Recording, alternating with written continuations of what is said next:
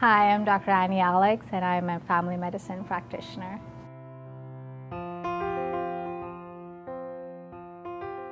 Just a passion to help people when they're the weakest. I think that's what stuck with me the most.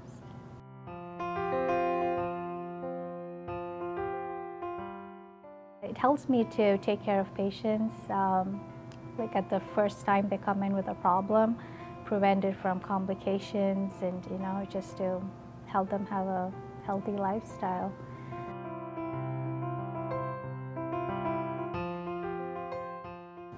Being honest with them, yeah, and uh, taking care of them as much as I can, and you know.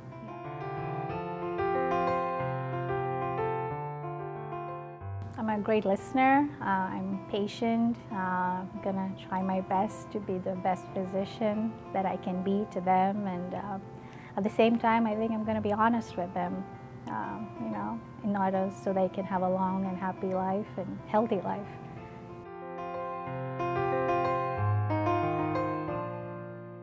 I think what I think is overall more than the physical care is emotional and spiritual care, and I, I like to give that to my patients, and I think that um, matters a lot.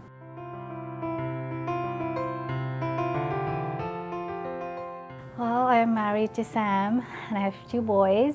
They're four and one. Their name is Ezra and Levi. Just love spending time with them. Um, yeah, and I also we like to travel and uh, like to read books. I think just stuck with me through med school.